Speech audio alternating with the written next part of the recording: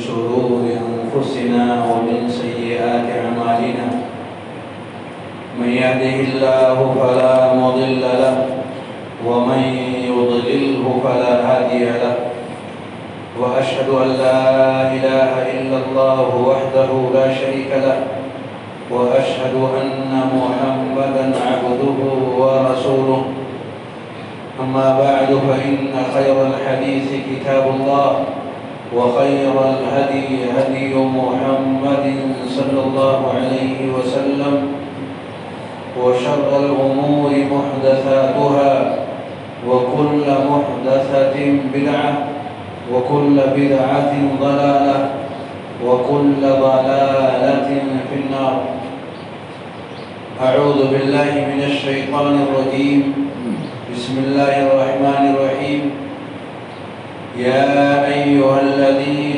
آمنوا اتقوا الله حق تقاته ولا تموتن إلا وأنتم مسلمون يا أيها الناس اتقوا ربكم الذي خلقكم من نفس واحدة وخلق منها زوجها وبث منهما رجالا كثيرا ونساء واتقوا الله الذي تساءلون به والأرحام. إن الله كان عليكم رقيبا. يا أيها الذين آمنوا اتقوا الله وقولوا قولا سديدا. يصلح لكم أعمالكم ويغفر لكم ذنوبكم. ومن يطع الله ورسوله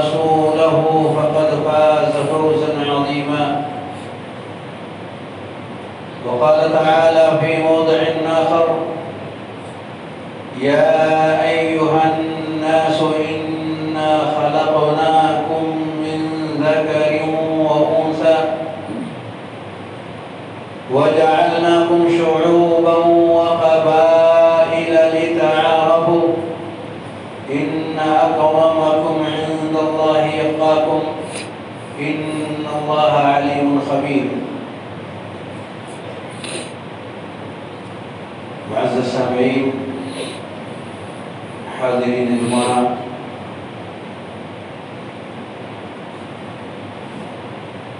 برادران اسلام، دین اور بجل بھائیوں، اللہ رب العالمین کے لیے ہر طرح کی بڑائی اور کبریائی ہے۔ درود و سلام پیارے نبی صلی اللہ علیہ وآلہ وسلم پر، جنہیں رب کریم نے سارے جہان والوں کے لیے ہادی اور رہبر بنا کر کے بھیجا۔ محترم حضرات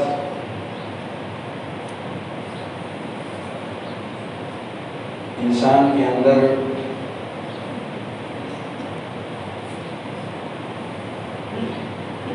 کچھ بیماریاں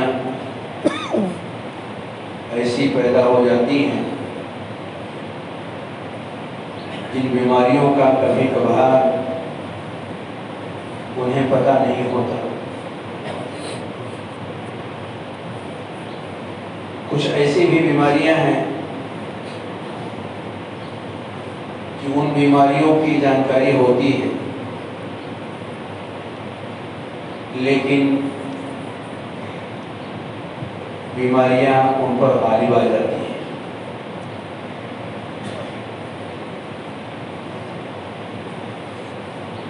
ایسے میں وہ انسان باوجود اس کے کہ ہمارے درمیان ایک مکمل انسانیت کی شکل میں ہوتا،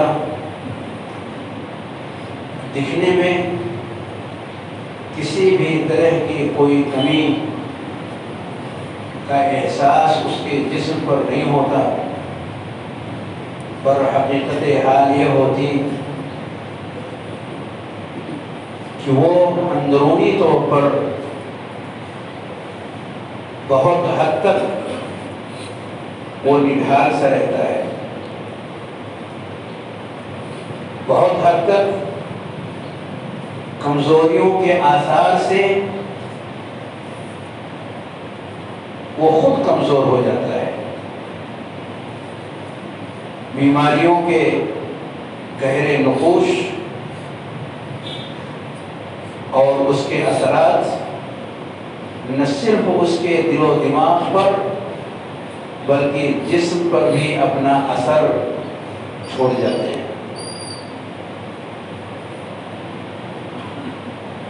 اور اس کی خطرناکیت کا اندازہ یہاں سے بھی لگایا جا سکتا ہے۔ صحیح مسلم میں حضرت حضیفہ رضی اللہ تعالیٰ عنہ فرماتے ہیں، کان الناس يسألون رسول الله صلى الله عليه وسلم عن الخير. وكنت أسأله عن الشر مخافة أن يدركني لوگ رسول کریم صلی اللہ علیہ وآلہ وسلم سے خیر کے بارے میں سوال کرتے، پوچھتے، اور میں یعنی حضرت حضیفہ رضی اللہ تعالیٰ عنہ بیان کرتے ہیں کہ میں رسول کریم صلی اللہ علیہ وآلہ وسلم سے شر کے بارے میں پوچھتا مخافت یدرکنی، اس خوف سے کہ کہیں وہ شر ہم تک نہ پہنچ جائے۔ ایک شاعر کہتا ہے، عرفت الشر لا للشر، لیکن لتوقی ومن لا يعرف الشر من الخير يقع فيه میں نے شر کو اس لیے جاننے کی کوشش کیا کہ میں اس سے اس سے اپنے آپ کو بچا سکوں۔ صرف شر کو شر کے طور پر جاننے کے لیے نہیں، بلکہ جاننے کے بعد کا جو عظیم الشان مرحلہ ہے کہ میں اپنے آپ کو اس میں واقع ہونے سے بچا سکوں؟ اس کے لیے میں نے شر کو سمجھنے کی، پہچاننے کی کوشش کیا اور حقیقت یہی ہے کہ جب انسان کسی چیز سے واقف نہیں ہوتا، کسی چیز کی حقیقت اس کے سامنے کھل کر کے نہیں آتی، تو اس کا برتاؤ اس کے تئیں مضبوط اور ٹھوس نہیں ہوا کرتا۔ کہ اس کی طرف بڑھنا ہے یا اس سے دور ہٹنا ہے؟ یہ برتاؤ جو اس کا نہایت مضبوط اصولوں پر ہونی چاہیے نہیں ہو پاتا۔ انہی برائیوں میں سے، انہی امراض میں سے جو سماج کے اندر پھیل جاتی ہے اور سماج میں رہنے والے لوگوں کو دیمک کی طرح سے آہستہ آہستہ انہیں چٹ کر جاتی ہے، انہیں کھوکھلا کر دیتی ہے۔ انہیں کمزور ترین لوگوں کی فہرست میں پہنچا دیتی ہے۔ انہی امراض اور بیماریوں میں سے ایک بیماری ہے تعصب کی۔ تعصب۔ تعصب کی بیماری پرانی ہے۔ آج کوئی نئی بیماری نہیں ہے۔ نبی کریم صلی اللہ علیہ وآلہ وسلم کے اوپر۔ قرآن مجید کا نزول ہو رہا تھا۔ آپ کو رب کریم نے لوگوں میں سے اختیار کر کے نبی بنایا۔ رسول محترم کے مقام پر آپ کو فائز کیا۔ پر بہت ساری نگاہوں کو اچھی نہیں لگی۔ بہت سارے لوگوں کو وہ آپ کا یہ اختیار کیا جانا بہتر نہ نظر آیا۔ کچھ لوگوں نے کہا، لولا نزل هذا القرآن على رجل من القريتين عظيم قرآن مجید جو نازل ہوا ہے، ان کے اوپر یعنی پیارے رسول صلی اللہ علیہ وآلہ وسلم کے اوپر، یہ قرآن فلاں اور فلاں کے اوپر کیوں نہیں اترا؟ ہمارے سماج کے بڑے تو وہی دونوں ہیں۔ ہمارے سماج میں گنے چنے نام اگر آپ لے سکتے ہیں نو کی زبان پر آ سکتا ہے۔ انسانیت جس سے واقف ہے، لوگ جس کو جانتے اور پہچانتے ہیں، یہ فلاں اور فلاں تھے۔ قرآن مجید ان پر کیوں نہ اترا؟ رب کریم نے اس کا جواب دیا۔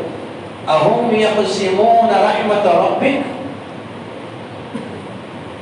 کیا لوگوں کے ہاتھ میں ہے رب کی رحمتوں کو بانٹنا اور اس کو تقسیم کرنا۔ نحن قسمنا بینہم معیشتہم فی الحیات دنیا رب کریم نے کہا، ہم ہیں جو لوگوں کے درمیان تقسیم کر رہے ہیں۔ اللہ رب العالمین بہتر جانتا ہے۔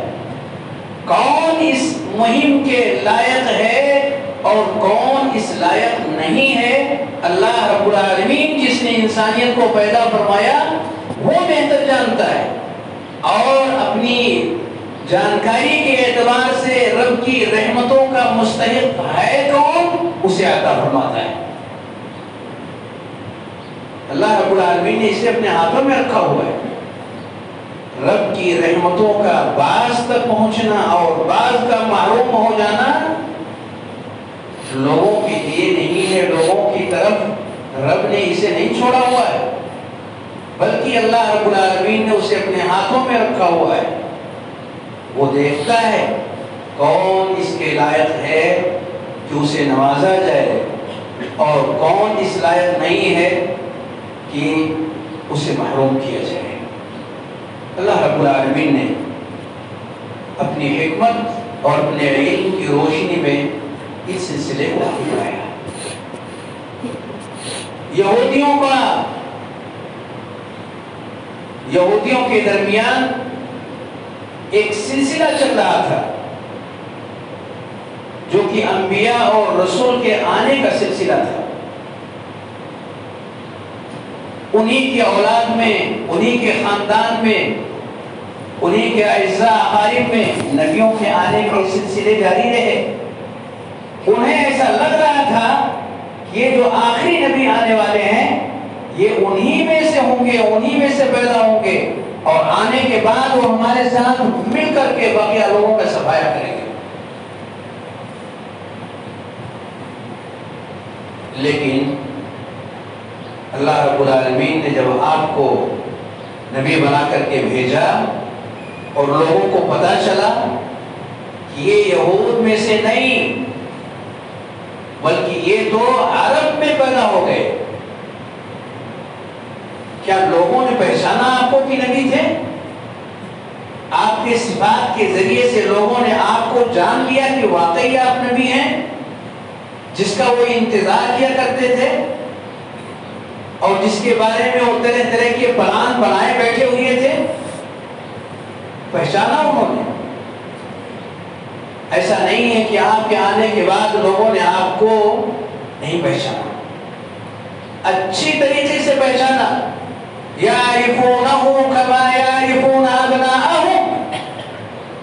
ان لوگوں نے پیارے نبی صلی اللہ علیہ وسلم کو ایسے جانا جیسے کہ ایک شخص اپنے بچے کو جانتا اور پہچانتا ہے۔ پہچاننے میں کوئی کمی نہیں تھی۔ کمی کہاں آئی ماننے میں کمی آئی۔ نبی کو نبی کے طور پر پہچان لیا گیا کہ آپ نبی برحق ہیں۔ جو آنے والے تھے وہ ہمارے درمیان نہیں۔ وہ امیین کے بیچ میں آئے، مکہ والوں کے بیچ میں آئے۔ عرب کے درمیان آپ پیدا ہوئے۔ کیوں نہیں مانا؟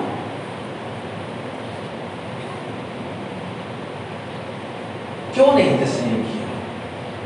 جس کا انتظار تھا وہ چیز اگر آ گئی، جو حق تھا، وہ ہمارے درمیان آ گیا، تو ماننے کے لیے اور کس چیز کی ضرورت تھی؟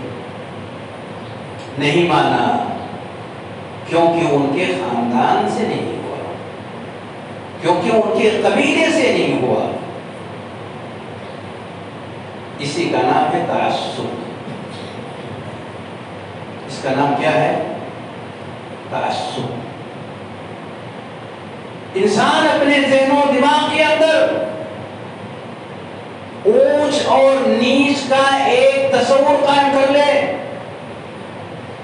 کامیابی اور ناکامی کے کچھ بنیادیں اپنے ذہن و دماغ میں بٹھا لے۔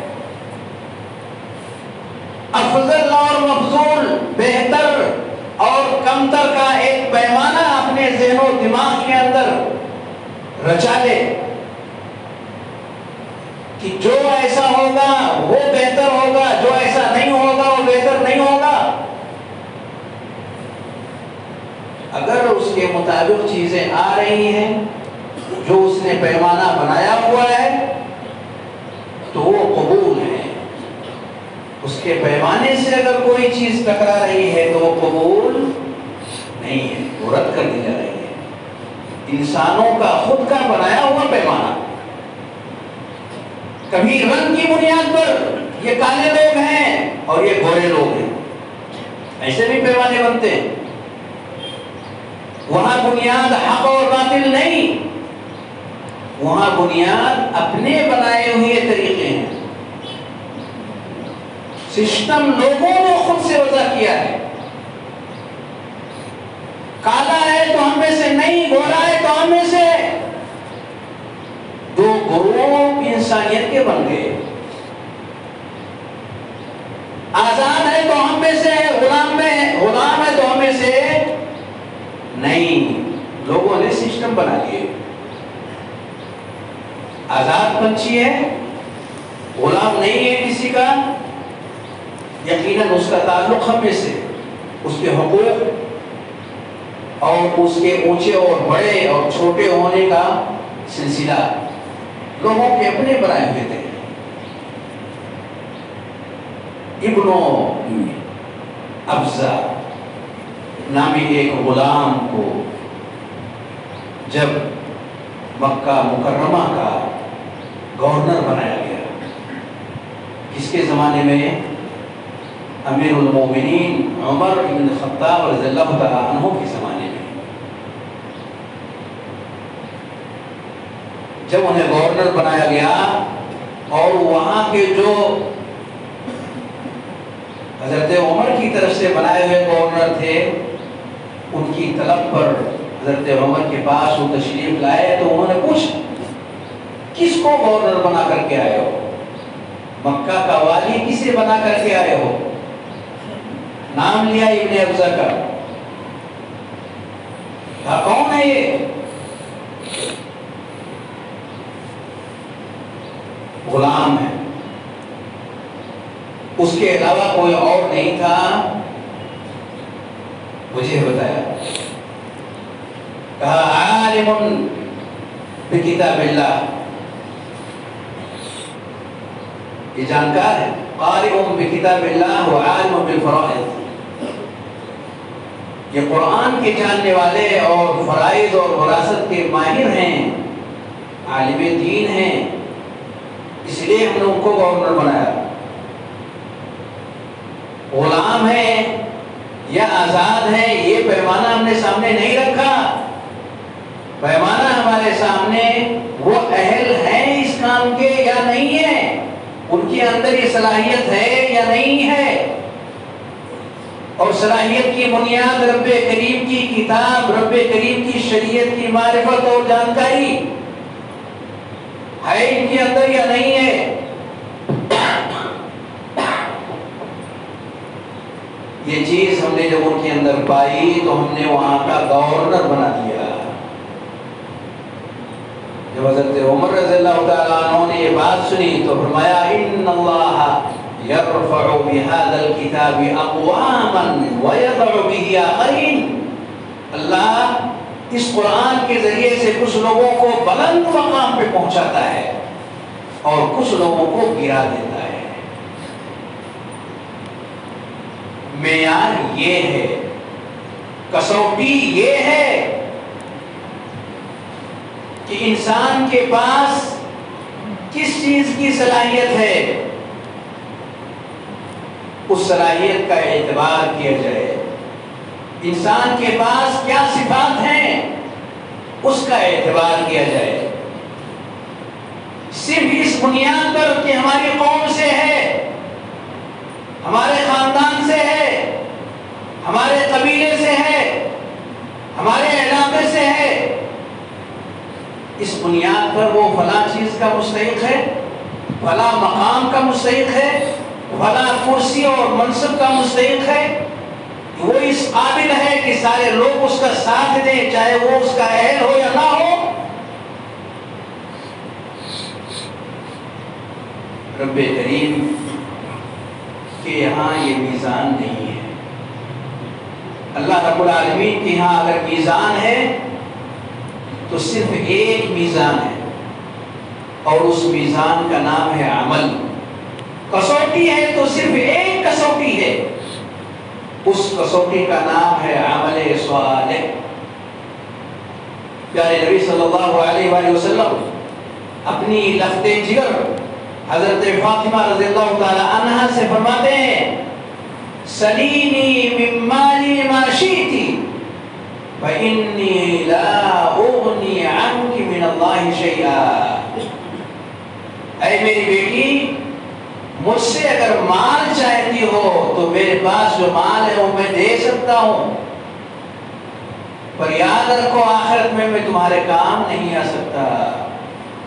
من اللہ ہمارا آپ سے جو تعلق ہے نسب ہے، ہم ایک دوسرے کے قریبی ہیں، رشتہ دار ہیں، یہ رشتہ ہمارے اور آپ کے لیے کچھ بھی نفع بخش نہیں ہے۔ سمجھایا نبی کریم صلی اللہ علیہ وسلم چلتا ہے لوگوں کی یہاں یہ جاہلیت ہے۔ سماج میں اس کا چرن ہے، یہ جاہلیت ہے۔ جاہلیت کو دفن کرنے کے لیے اللہ رب العالمین نے پیارے نبی صلی اللہ علیہ وآلہ وسلم کو بھیجا کہ عمل کو، عمل صالح کو، صالحیت کو، قابلیت کو معیار بنایا جائے۔ نہ کہ اپنا ان سے تعلق کو معیار بنایا جائے۔ نہ کہ اپنا ان کے ساتھ رشتے کو معیار بنایا جائے۔ چونکہ یہ ہمارا والد ہے، چونکہ یہ ہمارا بھائی ہے، چونکہ یہ ہماری بہن ہے، چونکہ یہ ہماری ماں ہے، اس لیے ان کے خلاف جو بھی ہیں وہ ہمارے لان تان کے مستحق ہیں جہلیت ہے۔ تعصب ہے۔ تنگ نظری ہے کہ اپنوں کی طرف سے ہمیشہ کھڑے رہو۔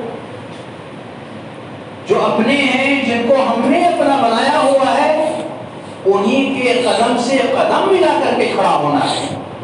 انہی کے کاندھے سے کاندھا ملا کر کے کھڑا ہونا ہے۔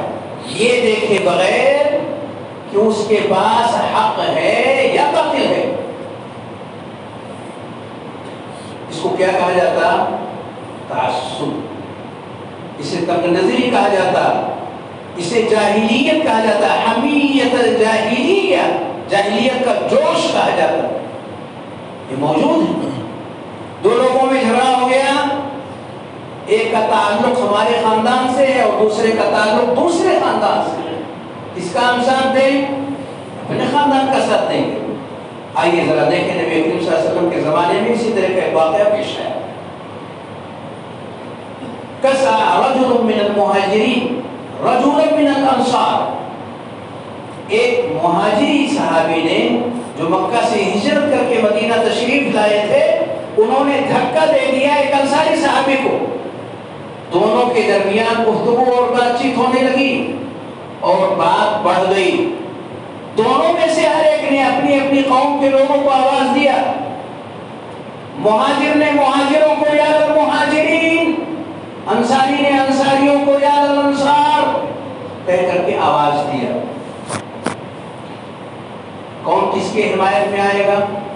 مہاجرین۔ مہاجرین مہاجر کے حمایت میں آئیں گے، انصاری کی حمایت کے لیے انصار آئیں گے۔ یہ یہی سسٹم چل رہا تھا۔ یہی سلسلہ جاری تھا۔ یہ آواز نبی کریم صلی اللہ علیہ وآلہ وسلم کے کانوں میں پڑی۔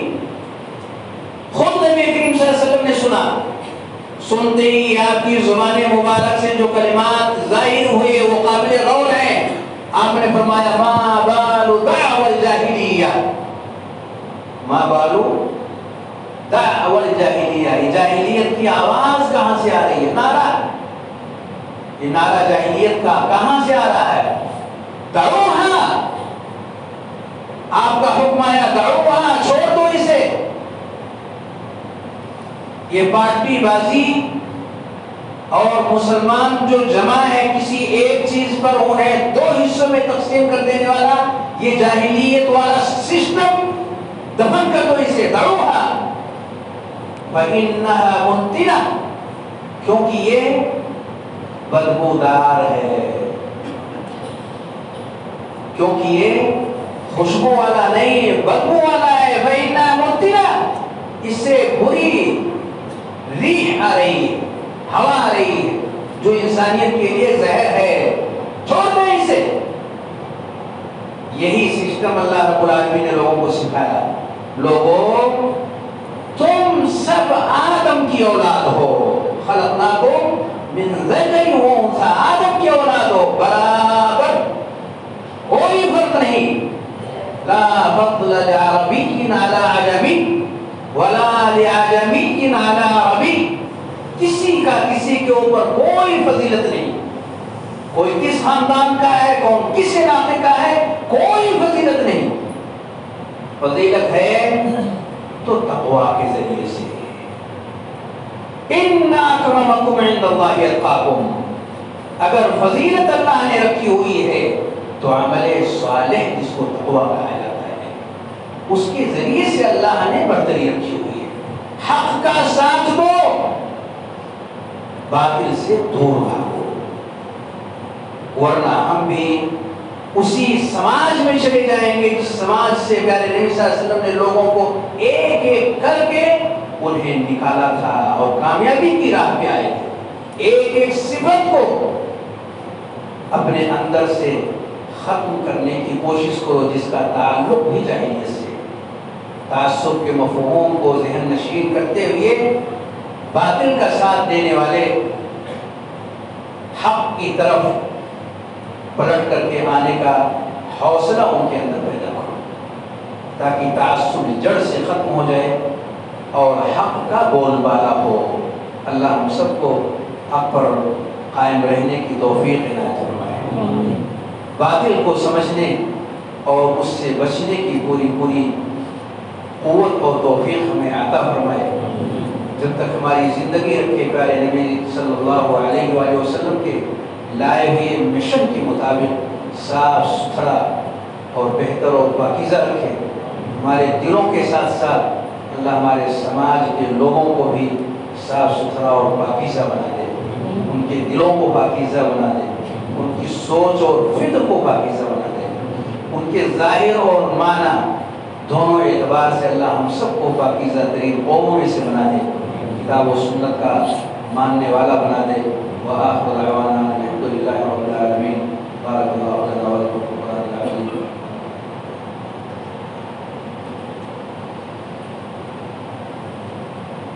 إن الحمد لله نحمده ونستعينه ونستغفره ونعوذ بالله من شرور أنفسنا ومن سيئات أعمالنا. من يهده الله فلا مضل له ومن يضلله فلا هادي له. وأشهد أن لا إله إلا الله وحده لا شريك له.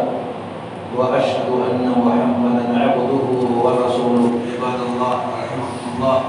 إن الله يأمر بالعدل والإحسان وإيتاء ذي القربى وينهى عن